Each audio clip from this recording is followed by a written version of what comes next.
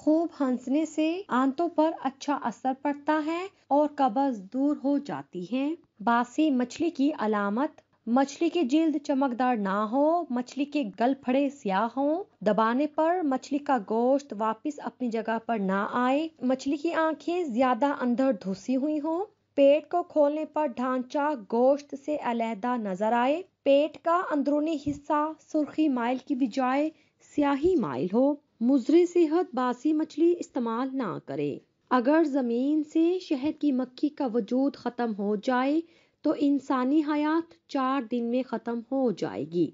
शहद कभी ख़राब नहीं होता। आप तीन हज़ार साल पुराना शहद भी खाएँ तो ताज़ा लगेगा। जर्द चेहरा बुखार या खून की कमी की वजह से चेहरा जर्दी माइल हो गया हो तो सुर्ख अनार पर रोज़ाना नमक और पीसी हुई काली मिर्च डालकर खाएँ खाएँ।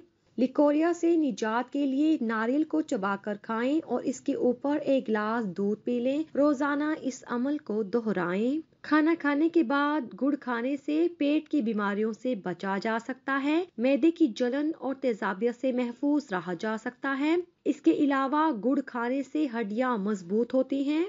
बालों को आमले या सिक्काकाई से धोएँ, सर में थोड़ा खोपरे या जैतून का तेल डालें, ये बालों की जड़ों को ताकत देता है। चाय में थोड़ी खशखास डालने से जिस्मानी थकावट दूर हो जाती है।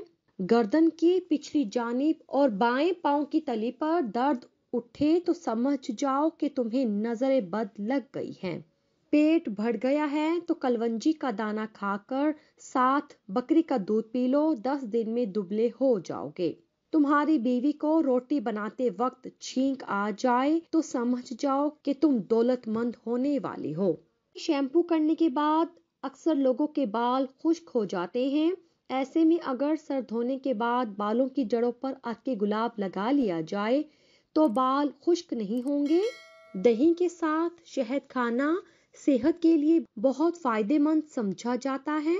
दही और शहद मिलाकर खाने से जख्मों को भरने में मदद मिलती है। मुँह के छाले ठीक हो जाते हैं और ये मैदे को भी ठंडा रखता है। चावलों का पानी उबाल कर पीने से कब्ज दूर होता है और ये हमारी जिल्द और बालों के मसाइल को भी हल करता है। चावल के पानी के इस्तेमाल से हाजमा भी दुरुस्त रहेगा। इसे पीने से बदहाजमी का मसला दूर हो जाता है। लो ब्लड प्रेशर का मसला दूर हो जाता है। धनिए के पत्तों का उबला हुआ पानी पीने से इंसान की थकावट फ़ौरन दूर हो जाती है। जिन लोगों को भूख नहीं लगती, वो खाने के बाद दो अमरूद खा लें तो उनकी भूख बढ़ जाती है।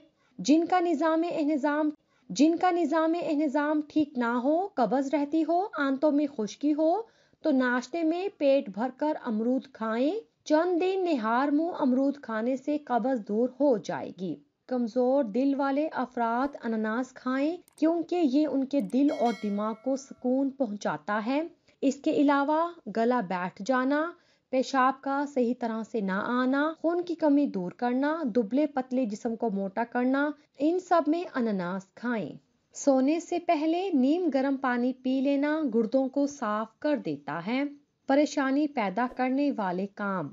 खड़े होकर पजामा पहनना, चौखट पर बैठना, घर में कचरा निचोड़ कर रखना, दांतों से नाखून काटना, बाएँ हाथ से खाना खाना अंडों के छिलकों पर चलना, आस्तीन या दामन से मुँह पूछना, पत्थरों से खेलना, मर्दाना कमज़ोरी, पेट की चर्बी, वज़न में ज़्यादा तीनों भी एक फल खाने में है, वो है जामन, जिसका पेट बहुत ज़्यादा बढ़ा हुआ हो।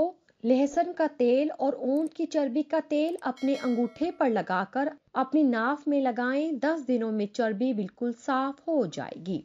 ठंडा पानी अगर आपको जवानी में बीमार ना करे तो जवानी के बाद आपको सख्त तरीन बीमार कर देगा। जब तक पेट की पहली गजा हजम ना कर लो, दूसरा खाना ना खाओ, चाहे तुम्हें तीन दिन लग जाएँ। केले के साथ लस्सी पीने से मैदे में दर्द होने लगता है। घी और शहद भी हम वज़न ना खाएँ, दूध के साथ तुर्श चीज़ ना खाएँ। खाना खाकर फ़ौरन सो जाने से कान जल्द बहरे हो जाते हैं। सोफों पर लगे निशान। एक खाने की चम्मच, खाने का सोडा में सिरका डालें। अब उसमें गर्म पानी शामिल करें और थोड़ा सा डिटर्जेंट भी शामिल करें। अब इस मिक्सचर को सोफों के दागों पर लगाएँ और साफ़ कर लें। पिंडली का दर्द। जिस दिन आप तीन चार केले खा लेंगे, उस रोज दर्द नहीं होगा। गीली पट्टी गर्मी में ठंडे, सर्दी में गर्म पानी में सूती पट्टी भिगोकर दर्द के मकाम पर लपेट लें, पंद्रह मिनट में आराम आने लगेगा। जिसम में कहीं भी दर्द हो, हल्दी और अदरक की चाय से आराम आता है।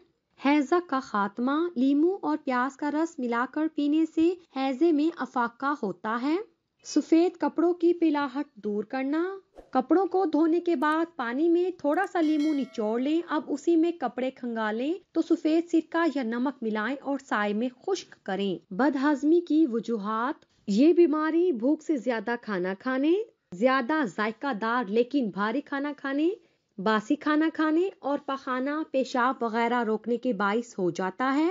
ज़्यादा सोने से भी बदहजमी की शिकायत हो जाती है। जहनी नफ्सियात है। जहनी नफ्सियात, हसद, जलन, खौफ और गुस्सा की वजह से खाना ठीक तरह से हजम नहीं होता। कभी कभी जहरीला खाना खाने से भी बदहजमी हो जाती है। अचार, खट्टी चीज़ें, तेल की चीज़ें ज़्यादा मिकदार में खाने से भी बदहजमी हो जाती है। बदहजमी की अलामत पेट में दर्द, बेचैनी, दिल मतलाना कभी कभी कैबी हो जाना, भूख न लगने की वजह से पेट में गैस का बनना, पेट में जलन, तेजाबियत से भरे अज्जा पखाने के साथ बाहर आना, वगैरह इसकी खास अलामत हैं। अदरक का रस, लीमू का रस और संतरे का रस इन तीनों को मिलाकर रोज़ाना पिए, इससे बदहाजमी फ़ौरन चली जाएगी मूली के रस में थोड़ी सी मिश्री पीस कर मिला लें, फिर एक चम्मच रस को खाना खाने के बाद पिए। इससे खट्टे डिकारे और बदहजमी की बीमारी बहुत जल्दी दूर हो जाती है। आपके हाथ पर तेल गिरे, चाय गिरे, गर्म पानी गिरे, आपने पानी नहीं डालना और ना ही पेस्ट लगानी है, इससे आबला पड़ जाता है। आपने अंडे की सिर्फ़ सफेदी लेनी है उंगली से ही फेंटना है, चम्मच इस्तेमाल नहीं करना है और जलने वाली जगह पर लगा ले, ठंड पड़ जाएगी आबला नहीं पड़ेगा, निशान भी नहीं पड़ेगा। और अगर आग लग जाए तो गीला कपड़ा, सूती, जैसे कि टावल, नमी वाला लपेट ले, नायलॉन ना हो, इसमें बेहतरीन अमल है।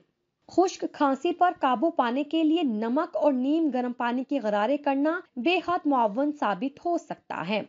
हल्दी या गर्म पानी की भाप लेना भी मददगार साबित होता है। खुश्क जिल्द या खारिश की सूरत में दलिए को इस्तेमाल करके देखें।